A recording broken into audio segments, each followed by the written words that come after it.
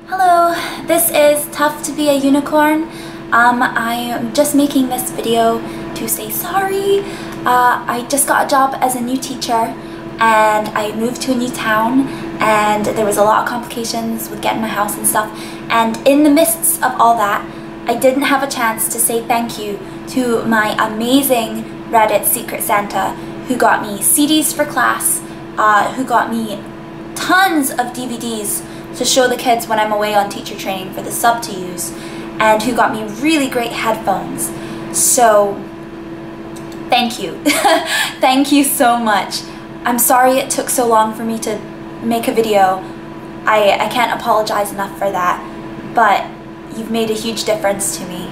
So, genuinely, thanks.